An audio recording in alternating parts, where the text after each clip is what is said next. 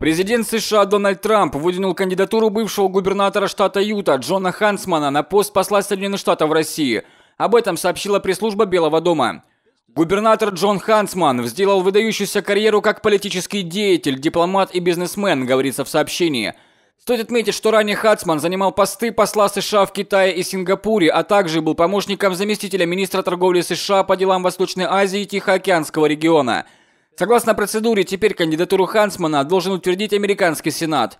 Если сенаторы подтвердят его назначение, Вашингтон обратится к Москве за агриманом для нового главы дипмиссии – Хансман сменит на посту посла Джона Тефта, который возглавлял американское посольство в России 2014 года. Срок полномочий Тефта истекает осенью текущего года.